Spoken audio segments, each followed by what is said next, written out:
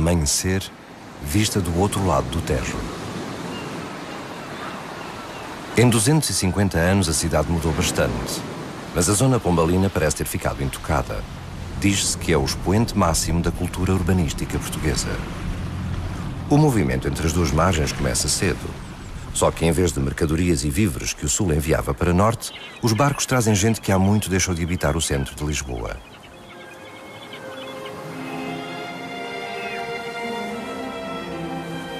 Quem a vê assim, arrumadinha, quase um cenário, aos primeiros raios de sol da manhã, não consegue imaginar como foi o acordar daquele outro novembro de há dois séculos e meio atrás.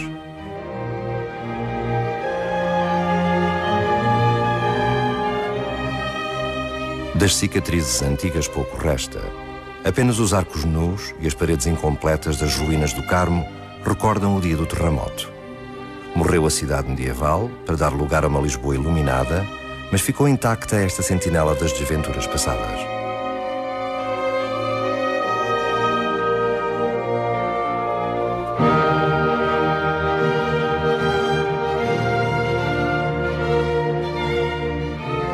Nesta que foi a primeira casa dos arqueólogos portugueses, cruzam-se muitos tempos diferentes. Peças encontradas à deriva em prédios derrubados, achados de escavação, lápidas de cemitérios desaparecidos, ofertas, aquisições, um mundo em pedra e memórias que a lógica colecionista do século XIX começou a juntar.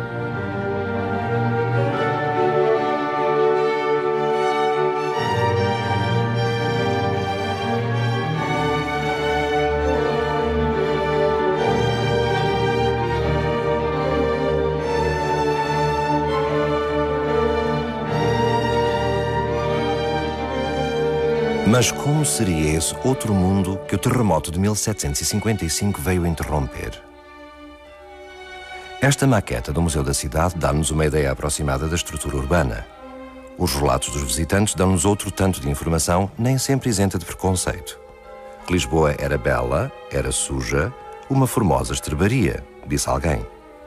Resplandecia de ouro nas suas igrejas, mas nas ruas estreitas imperava o mau cheiro, o desarranjo e mendigos insistentes e barulhentos. Um destino exótico, uma quase cidade de África, no dizer de outro viajante.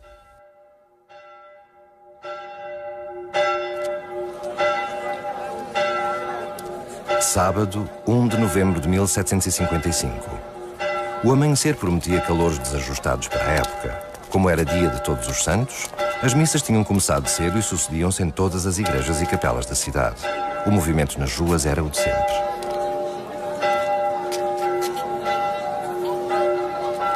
Os sinos confundiam os seus toques a chamar os fiéis e misturavam-se com a gritaria dos pedintes, dos bufarinheiros, dos aguadeiros, dos apregoadores de falsas relíquias e dos criados a abrir caminho às suas senhoras.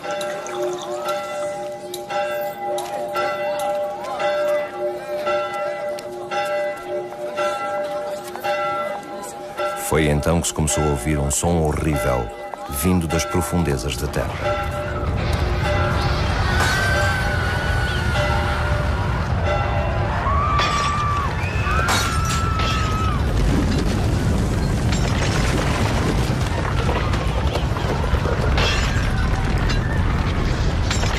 A terra não parava de tremer, as casas desabavam e já se preparava outra ameaça.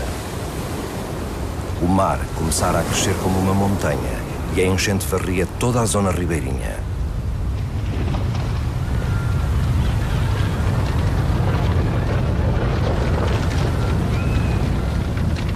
Derrubou barcos. Engoliu quantos se tinham refugiado à borda d'água para escapar à queda dos edifícios. Entrou pela cidade baixa e inundou tudo quase até ao Rocio.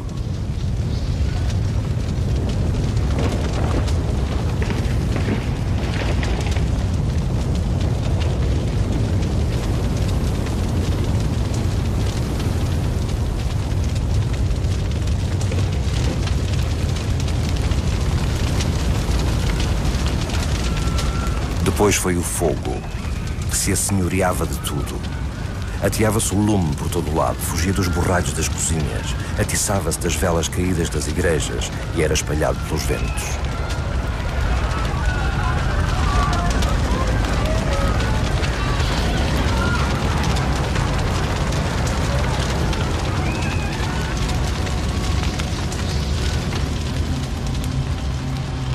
Relatos de quem presenciou a catástrofe dão a imagem de um verdadeiro fim do mundo. No meio do horror e da destruição, a terra continuava a tremer. As pessoas enlouquecidas procuravam amigos e familiares entre as ruínas e os incêndios, ou corriam a esmo sem saber onde abrigar-se.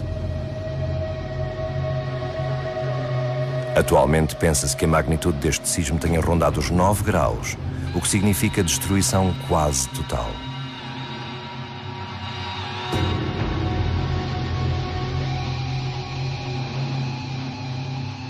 Sismo foi um sismo muito longo. As vibrações duraram eh, pelo menos 6 a 7 minutos. 6 a 7 minutos e há referências até vibrações que se estenderam por 15 minutos, embora intervaladas. Portanto, não houve vibrações contínuas, houve impulsos separados por períodos de, de repouso. Portanto, eu consigo imaginar o terror, é? O terror provocado por esse fenómeno que se arrastou ao longo de minutos. Para as pessoas terá sido uma eternidade. Verdadeira eternidade.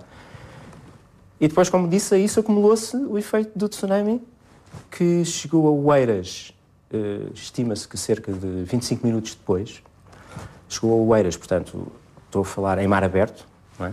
e que depois entrou pela barra do Tejo, onde se deslocou mais lentamente, porque a profundidade é muito menor. Uh, há estimativas da chegada à Mervila de cerca de 70 minutos, 70 a 90 minutos após o sismo. Ainda persistem as dúvidas sobre a localização da falha ou falhas que originaram o terremoto de Lisboa. A existência do maremoto indica que terá sido no fundo do mar, provavelmente a sudoeste do território continental português. Nos últimos 15 anos, progrediu-se muito nos conhecimentos, mas ainda há muita informação contraditória. Mesmo entre os cientistas, as respostas não são claras. Há um modelo que tem sido defendido recentemente por colegas do Instituto Superior Técnico que admitem que uh, o sismo de 1755 uh, corresponde de facto a dois sismos uh, separados. Um que terá sido gerado no mar, na área que eu já referi, sudoeste de Portugal continental, e outro que terá sido gerado, desencadeado pelo primeiro, na região do Val do Tejo. Está a ver? É, como há, de facto, interpretações tão dispares. Pessoalmente, e no grupo onde eu me insiro, não concordamos com este modelo. Mas os colegas do, do Instituto Superior apresentam os seus argumentos, nós apresentamos contra-argumentos. Mas tudo isto vem, de facto, de, de certa maneira, e fundamentalmente, da, da, contradição entre os testemunhos, entre os dados que existem. É, e, portanto, aquilo que se tem tentado fazer é testar as várias hipóteses, criar modelos a partir das várias hipóteses e depois comparar esses modelos com, com a realidade conhecida. Prever um sismo não é possível, mas a ciência continua a avançar. As análises a sedimentos recolhidos no fundo do oceano permitem descobrir os sismos do passado e estabelecer o seu intervalo de recorrência. Nós sabemos que eh, no futuro ocorrerão sismos como o de 1655. Seguramente vão ocorrer. Em média, eles ocorrerão com um intervalo da ordem de entre os mil e os dois mil anos. Em média. Mas não quer dizer que esta periodicidade aconteça. Eu não quero dizer com isto que o próximo sismo, semelhante a 1755, vai ocorrer passado mil anos, ou daqui a mil anos, ou daqui a dois mil. Pode ocorrer antes, ou até pode ocorrer depois. Mas, em média, aquilo que parece acontecer é que, de facto, a periodicidade para sismos deste tipo é dessa ordem, mil, entre mil e dois mil anos. Como se poderá medir a dor e o pânico e o desalento no meio de uma tal desordem? E ainda havia quem se aproveitasse do infortúnio, pilhando quanto conseguisse. Esses, se apanhados, eram enforcados na hora. Não se ouviam senão choros, lamentações e coros, entoando bendito, ladainhas e miserere. Lisboa teria cerca de 200 mil habitantes, terão morrido 10 a 15 mil pessoas mas há estimativas que apontam para 40 mil. A morte tornou-se vulgar, não é? A cidade tornou-se um vasto túmulo. Eh, o Voltaire fala eh, dos mortos enraivecidos, do bravio tumulto dos mortos na cidade. E, de facto, a cidade passou a ser um espaço de morte. A morte estava na rua, a morte estava encoberta por entre ruínas e eh, o halo da morte dominou durante vários dias a cidade. Muita gente morreu na derrocada das igrejas. Na igreja do Sacramento ao Chiado caiu o frontispício, a abóbada, duas torres e o coro. Terão perecido aqui 75 pessoas. Mas um dos mortos só foi descoberto por acaso há cerca de 15 anos.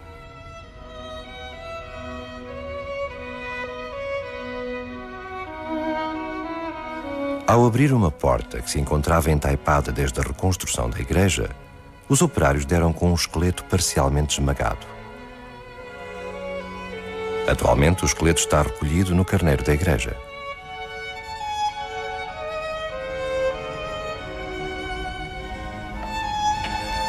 Estudos feitos na sequência do achado concluíram por morte acidental resultante de catástrofe.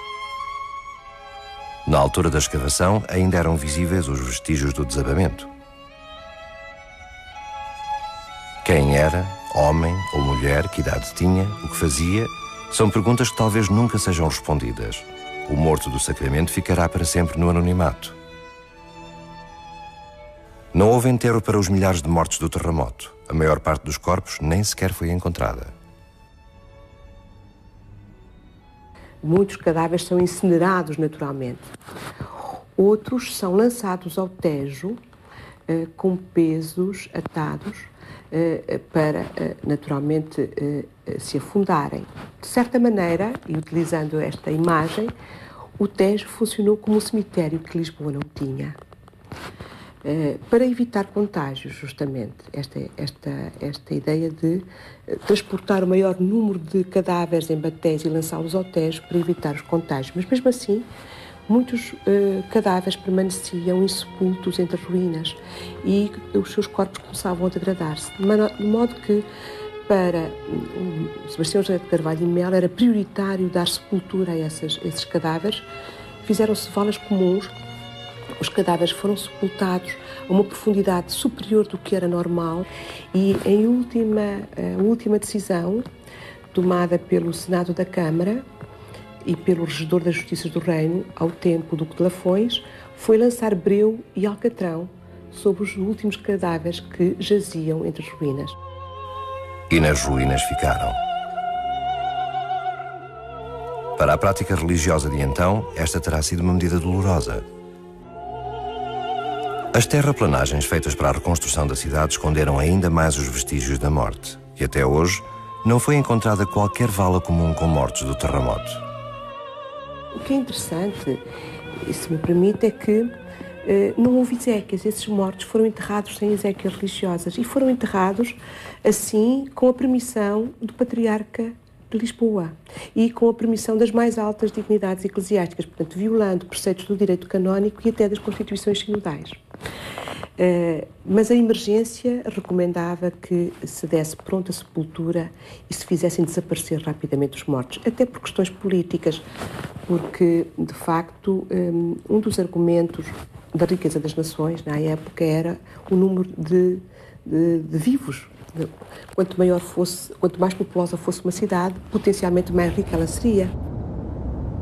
Muitas das riquezas de Lisboa ficaram reduzidas a cinzas. A Biblioteca Real, os opulentos recheios de igrejas e palácios, a ópera, perderam-se 35 igrejas, 55 palácios, 10 mil edifícios.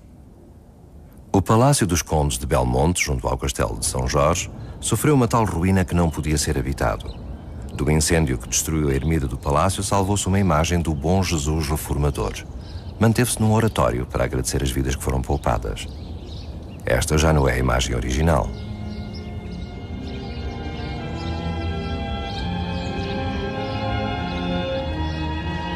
Das casas arrasadas, pouco ficou para contar a história dos seus moradores. Os objetos do cotidiano perderam-se, mas nem todos. De vez em quando, as escavações arqueológicas resgatam um ou outro utensílio do dia a dia, peças singelas de barro que serviam à mesa de gente remediada, que constituía a maioria dos habitantes da Baixa, ou outros utensílios mais preciosos, de cerâmica ou de porcelana fina, provenientes dos palácios que também arderam.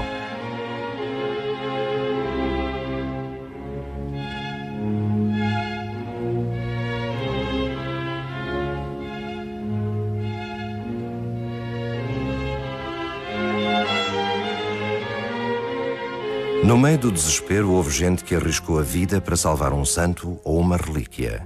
Foi o caso de dois devotos do Senhor Jesus dos Navegantes e da Senhora da Caridade. A história é contada nas paredes de azulejo desta ermida. A capela primitiva onde se encontravam as imagens pertencia a uma irmandade de marítimos do Mocambo, um aldeamento de pescadores e negros. Ruíra com o terremoto e, em pleno incêndio, os dois devotos recuperaram-nas. No meio dos destroços da cidade, os fiéis fugiram para o campo das Trinas, perto do lugar onde se enforcavam os malfeitores apanhados a pilhar nas ruínas. Ocuparam uma barraca de pano, depois ergueram uma de madeira onde guardaram as imagens. Começaram de imediato a construir nova capela. Dois anos depois do sismo, estava pronta. Com toda a pompa e dignidade, os irmãos e demais clero levaram em procissão solene as imagens resgatadas ao fogo para a nova e definitiva morada.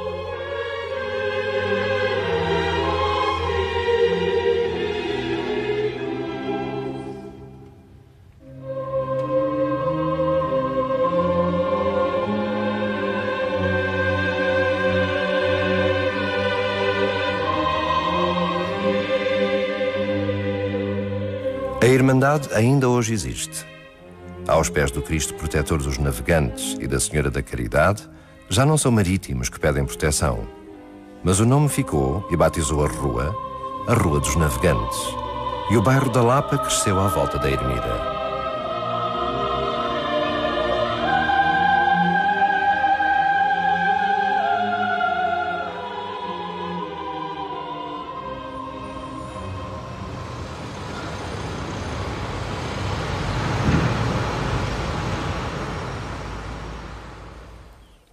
Durante vários anos, Lisboa viveu entre ruínas.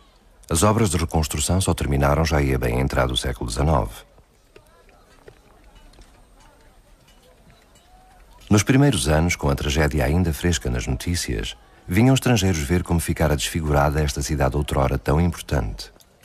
Muitos, mesmo que a não tivessem conhecido antes, faziam comparações. Em cartas empolgadas aos seus correspondentes, faziam descrições muitas vezes fantasiosas sobre o sismo que fizera desta cidade uma Troia moderna.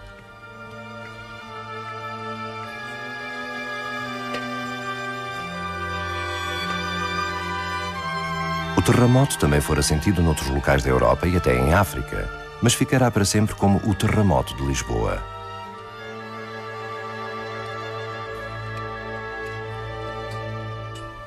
A população sem teto deambulava os visitantes comoviam-se com tão belas ruínas e tão negra desgraça.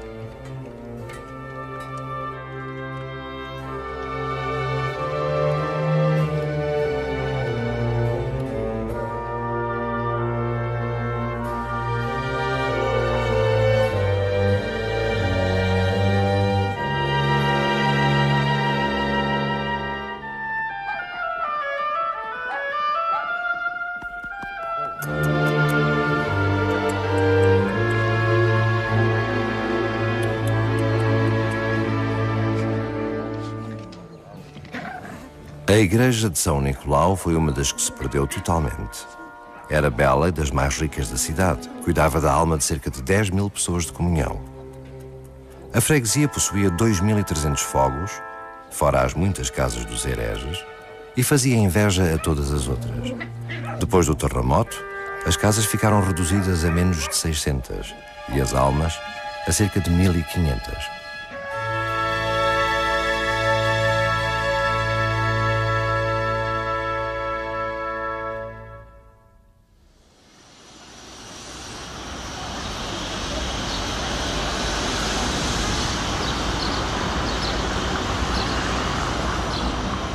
A igreja de São Nicolau atual foi reconstruída no mesmo sítio, embora com orientação diferente por exigência do novo plano da cidade. A reconstrução iniciou-se em 1780 e só se concluiu em meados do século XIX. É curioso uh, também verificar que dos primeiros edifícios a serem construídos ou reconstruídos são os primeiros dos primeiros edifícios, nos primeiros edifícios estão as igrejas. Ora, as igrejas, porquê? Porque era uma sociedade religiosa. Uh, no fundo, o pároco, numa uh, paróquia ou numa freguesia antiga, é o centro uh, de uma digamos, está no centro de uma circunscrição territorial. Se o Marquês de Pombal queria, de facto, conhecer o que se passava no país e se queria atalhar às diversas necessidades, se queria saber quem existia e quem tinha morrido no terremoto, naturalmente que socorreu dos párocos. Passados dois séculos e meio, não se imagina quão penosa seria a vista de Lisboa em ruínas. Com os resultados dos incêndios ainda visíveis, a população sobrevivente dispersa, ladrões pilhando e forçando entrada nas casas que se mantiveram incólumes. O medo instalara-se, provocando visões de fim do mundo e exacerbava a religiosidade cega e temente.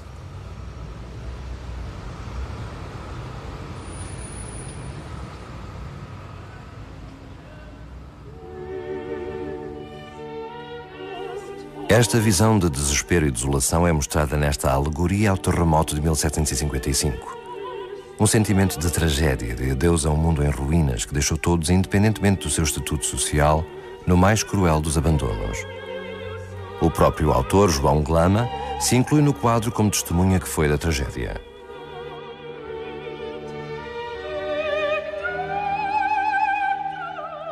Corpos que sofrem com os olhos virados para o céu à procura de uma justificação para tão incompreensível tormento.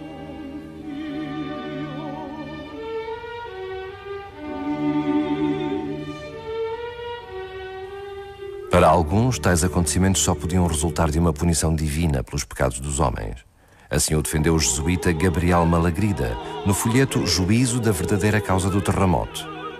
Nada se dever a causas naturais, como justificavam os espíritos mais esclarecidos da época, mas sim a um castigo, por isso, a cidade que fora ímpia deveria continuar em escombros e os sobreviventes procurar o perdão com muita penitência e procissões.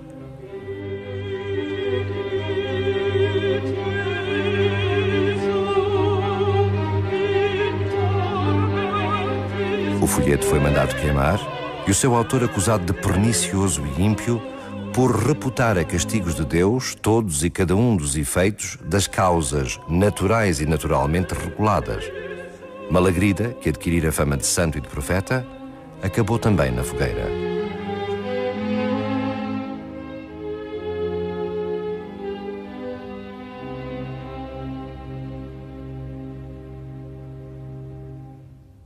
Tinha-se a noção de que era um excesso, de que as igrejas joaninas da Baixa, que eram um verdadeiro espanto em termos de história da arte, em termos de riqueza, que tudo isso era excessivo e o padre Malagrida, um pobre jesuíta meio louco, veio para uh, o meio da rua gritar que era o fim do mundo. Uh, e quando se quis reconstruir a cidade, ele opunha-se dizendo que era uma cidade perdida e que Deus havia castigado e que, portanto, uh, não devia ser reconstruída, que era um pecado estar a reconstruir Lisboa.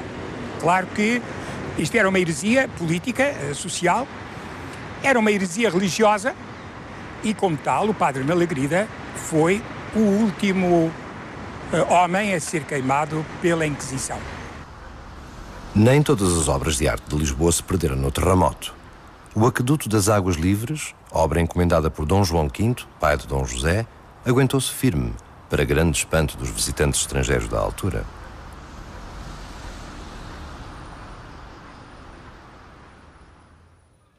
Dom José e a família real escaparam ao terremoto por se encontrarem fora do passo, na Ribeira. Mas do medo de voltar a viver debaixo de telha, nem o monarca escapou. Preferia uma tenda e depois uma barraca de madeira sem os perigos de ser atingido pela queda de alguma cantaria. A barraca tornou-se numa moda seguida por muitos nobres, mesmo por aqueles que mantiveram inteiros os palácios. A Real Barraca foi como ficou conhecido o novo passo do rei e da corte.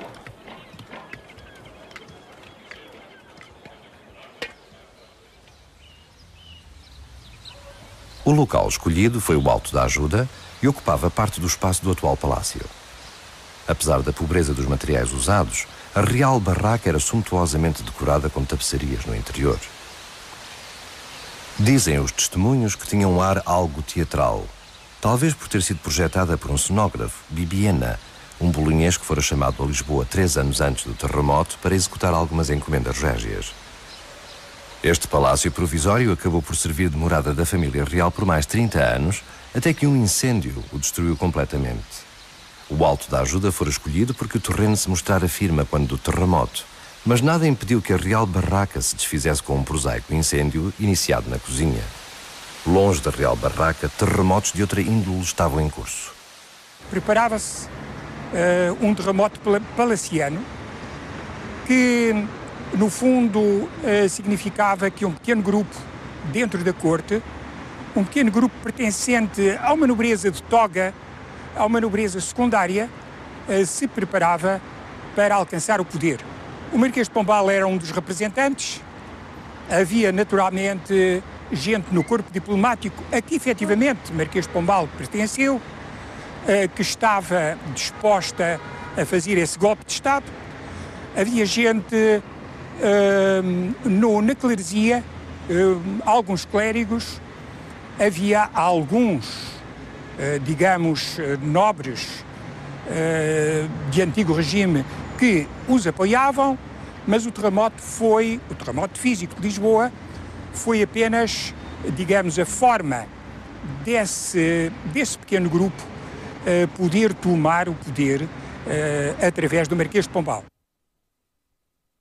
Sebastião José de Carvalho e Melo representava a mudança, numa Europa também além mudança. A crise do terremoto acelera a tomada do poder por este verdadeiro chefe de Estado, mas sempre em nome do seu rei, Dom José. Eu tenho a impressão que o Marquês é capaz de ter sido, de facto, um personagem essencial, porque nestes momentos, ainda que, e aliás isso verifica-se na atualidade, nestes momentos muitas vezes existe a capacidade técnica, ou seja, existe um escola técnico perfeitamente competente e capaz de fazer excelentes realizações né, em todas as áreas, mas neste caso na área de, do urbanismo, mas é, é, e sobretudo porque se trata de, do urbanismo, não é? Que no fundo no urbanismo há quem diga que é, gestão, é pura gestão de interesses em conflito. Uh, portanto, uh, justamente é necessário que a, a esse escola de, de, categoria de boa, enfim, de, de competência técnica reconhecida seja apoiado por um poder político com alguma firmeza. E esse poder político com alguma firmeza naquela altura foi mesmo o Marquês de Pombal. A Real Praça do Comércio é o centro do novo poder sustentado por Sebastião José de Carvalho e Melo. Embora no mesmo lugar do velho terreiro do Passo, recorda a importância que a burguesia comercial começa a ter na sociedade do pós-terremoto.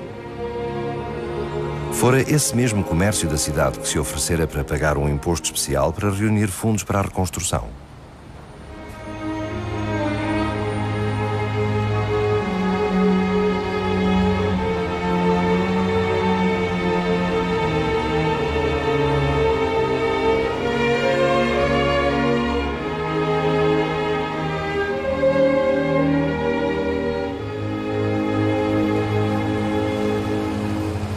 Terremoto conseguido apagar de todo as várias cidades que Lisboa foi antes de novembro de 1755? Nesta zona situada à beira do esteiro do Tejo, que entrava pela baixa até ao Rocio, existiam fábricas romanas de conserva de peixe. O esqueleto pertence provavelmente a um desses operários de Roma que aqui terminou seus dias.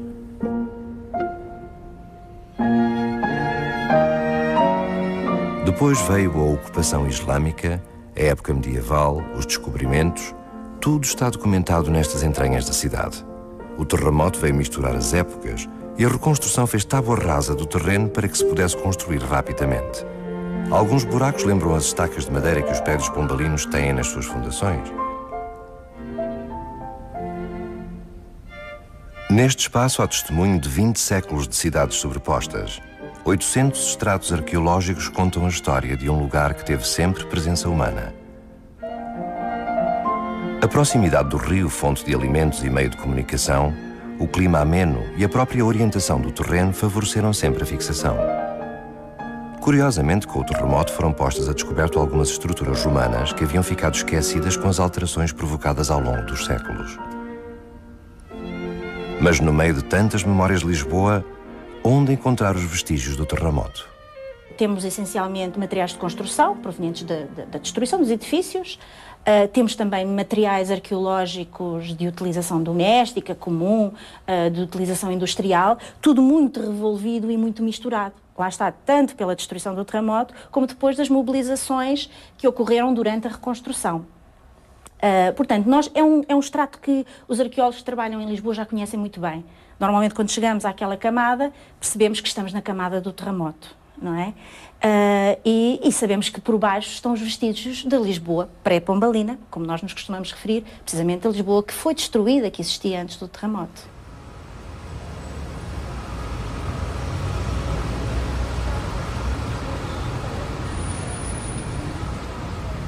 E os vestígios encontram-se onde menos se espera. À beira da sede de Lisboa, a construção de um sanitário público descobriu parte de uma casa destruída pelo terremoto.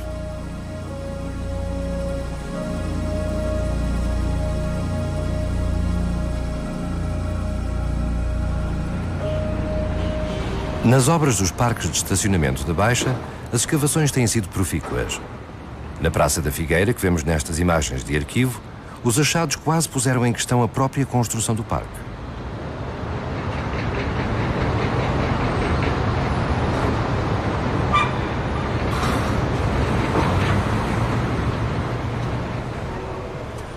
Quem poderia suspeitar que, ao estacionar o automóvel no Parque Camões, está a pisar o chão de um palácio? As escavações feitas antes da construção do parque mostravam, ainda bem demarcados, os espaços em que os condes de Cantanhede e depois marqueses de Marialva habitaram, com toda a probabilidade, desde o século XVII. O terremoto fez desabar parte do palácio e o fogo consumou a obra. A seguir ao desastre, fizeram-se uns arremedos de barracas nas zonas mais destruídas, mas com o passar dos anos veio a decadência. O espaço encheu-se de lojas modestas, casas de malta e de prostituição. Em vez de palácio, era conhecido por casebres do Loreto. Até que em meados do século XIX foi tudo demolido para dar lugar à Praça de Luís de Camões.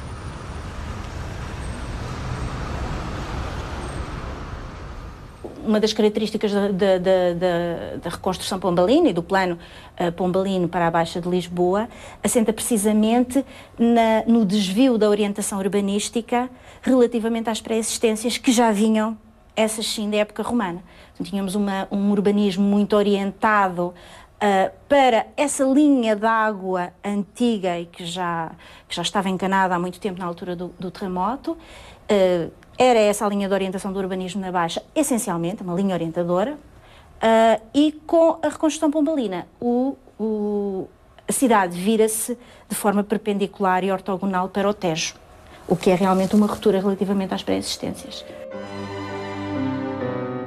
A cidade que o terremoto destruiu era uma intrincada rede de ruelas e becos, ruas tortas e estreitas, perdida ainda na sua confusão medieval. A nova Lisboa, pelo contrário, é concebida como um todo, planeada, organizada desde o subsolo ao desenho das fachadas. Deveria ser segura, porque essa era a grande preocupação de quem passara por uma tragédia como o terremoto, mas refletir também os novos tempos.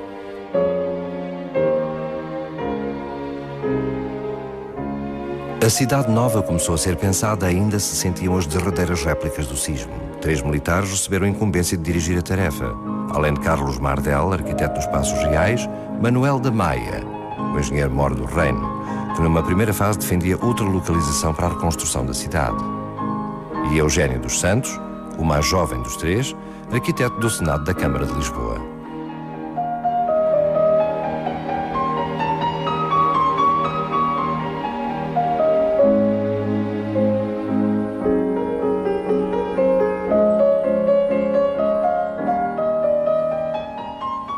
Em 1758 já os planos estavam em execução.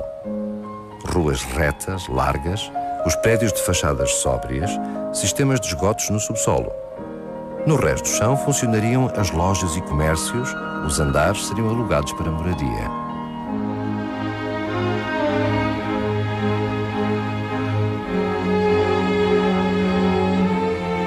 Um grande exército de soldados em formatura alinhados em batalhões atrás do seu comandante Dom José I.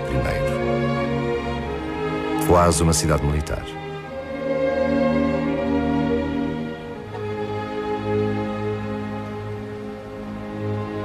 É uma grande obra, de facto, da engenharia militar portuguesa, sobretudo porque pronto, justamente é o momento em que a engenharia militar portuguesa, já com um longuíssimo currículo na área do ordenamento do território e da própria urbanização, uh, ao nível colonial, uh, justamente atinge um ponto alto, do, enfim, de, de, de, levar à prática toda, toda a experiência acumulada nos espaços do Império.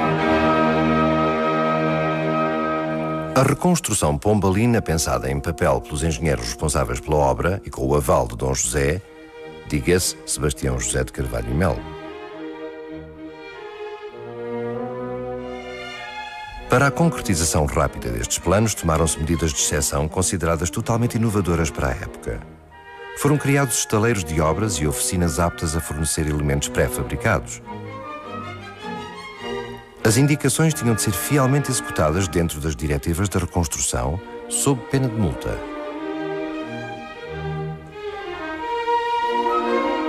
Só às igrejas se permitiram algumas inovações nas fachadas. De resto, os prédios são uma repetição simétrica, sem elementos dissonantes. Mesmo os palácios obedeceriam às mesmas regras de uma quase modéstia, distinguindo-se não pelo seu tamanho, mas pelo número de janelas.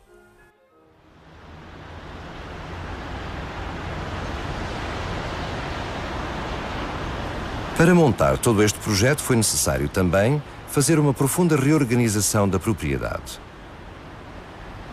Diz-se que o Marquês de Pombal passava as noites na sua tenda a rever os papéis dos engenheiros e a arquitetar formas de apressar a obra.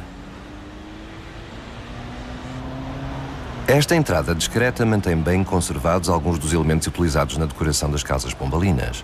Azulejos no revestimento dos lambris.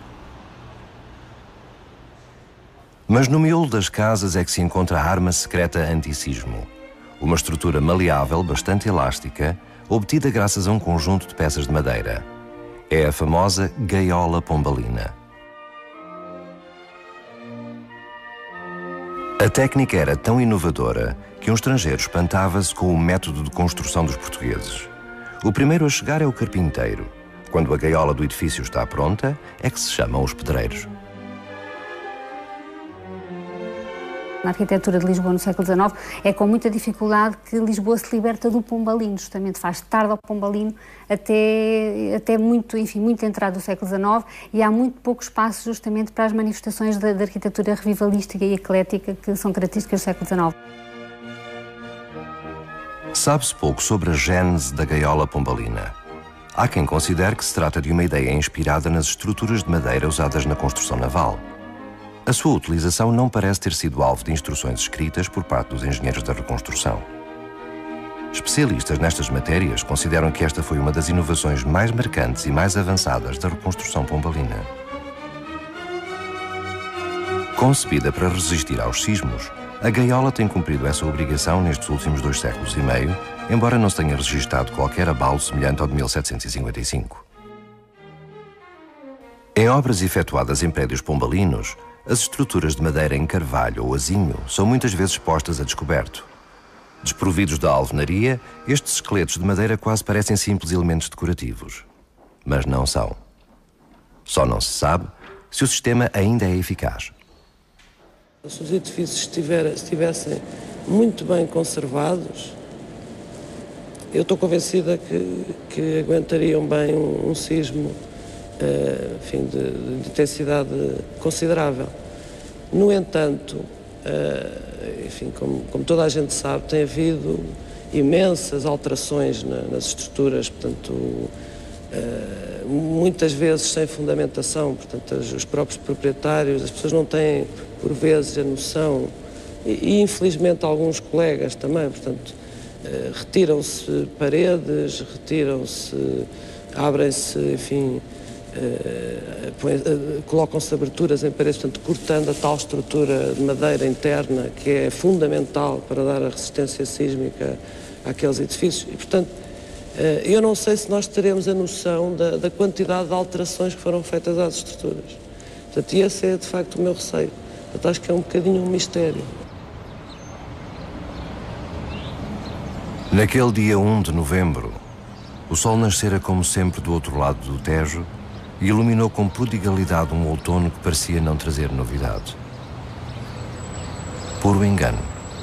Estava escrito que não seria assim. A meio da manhã, parte da população estava morta, Lisboa vivia o caos, a cidade experimentara horrores inimagináveis.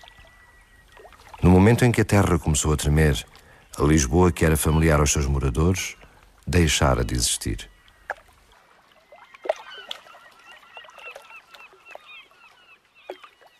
O terremoto pode ser eh, visto como eh, metáfora de uma nova ordem do mundo uh, à escala do entendimento da natureza, à escala uh, da compreensão dos desígnios da providência divina e até, uh, por que não dizê-lo, à escala da visão do tempo. O terremoto contribui também para desacralizar um pouco o tempo dos homens, é? Para colocar Deus do lado de lá do palco e deixar que a ribalta da história fosse inteiramente ocupada pelos homens.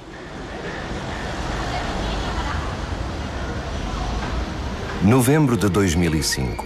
Hoje a cidade é outra. Poucas famílias terão histórias para contar sobre o terremoto. Passou-se a limpo o passado e guardaram-se os esqueletos no armário. Mas eles espreitam-nos a cada momento.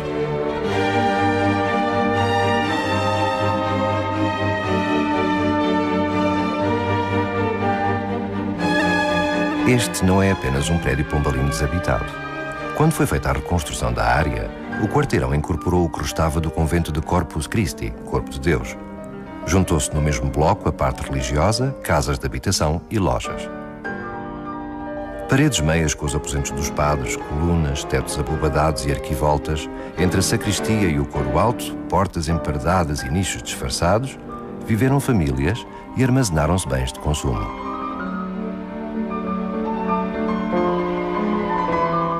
Mandado construir pela rainha Dona Luísa de Gusmão, no lugar onde se deu um atentado gorado à vida de seu marido Dom João IV, o convento deixou de existir no século XIX.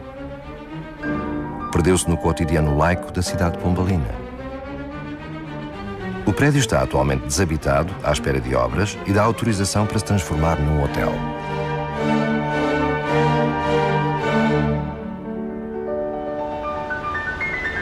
Muitas das janelas das ruas dos Fanqueiros e de São Nicolau hoje estão fechadas.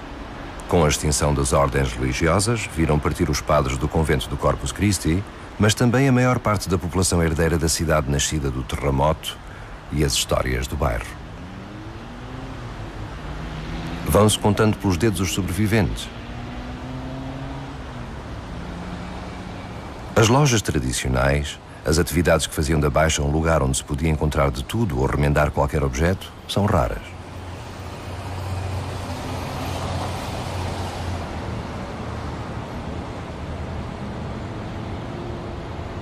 Os herdeiros dos antigos proprietários preferem muitas vezes manter as casas fechadas a fazer obras, por falta de dinheiro ou de interesse. Resistem alguns, como o Sr. Gilberto, último sapateiro da Rua dos Correieiros.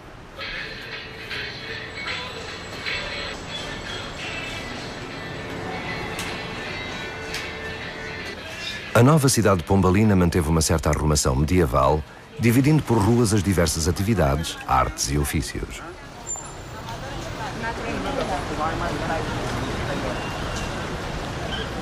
No Rocio, destinou-se um espaço aos chapeleiros.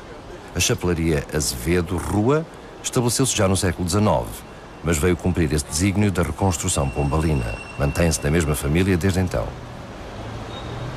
Contrariamente ao que seria de esperar, ainda há muita gente à procura de chapéus. Para um casamento, para uma cerimónia mais complicada. E depois há os quase chapéus, os bonés, os mais práticos contra a chuva ou o frio. Mais para os homens, porque no caso das senhoras é mesmo na época dos casamentos. Os toureiros e cavaleiros também precisam de cobrir a cabeça. Histórias de uma chapelaria.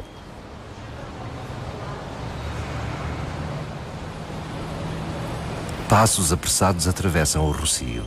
Parados, só mesmo os africanos e outros imigrantes que aqui marcam encontro com os patrícios ou procuram emprego entre os conhecidos.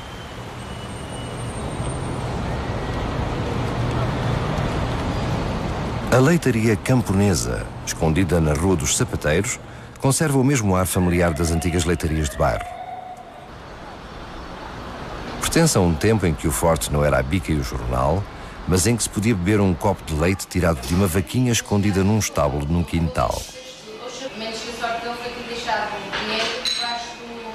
Mesmo os fregueses da bica e do jornal já são contados pelos dedos, porque este bairro já não é bem um bairro e há pouco tempo para deitar conversa fora.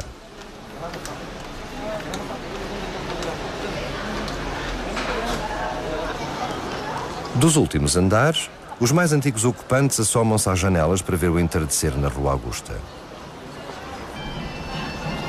O vai e vem das compras já não é o que era. São mais os turistas que se passeiam ou os vendedores de time-sharing à casa de freguês do que a azáfama de compras de outrora.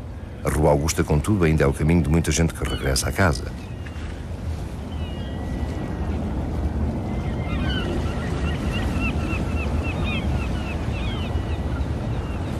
Quem foge apressado de Lisboa, a contar com um longo tempo que vai passar nos transportes, talvez nem se dê conta do sol que lhe atravessa o caminho.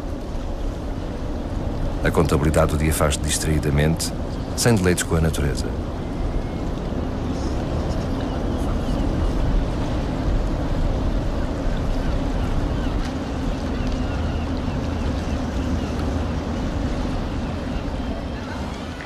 Por hoje, o dia acabou. Quando todos os estabelecimentos encerrarem as portas, dando por fim da jornada, esta, que é a principal artéria da Baixa Pombalina, ficará quase deserta. Reduzir-se-á apenas a uns poucos de transeuntes apressados em direção à Praça do Comércio para apanhar o barco ou em sentido contrário para chegar ao metro.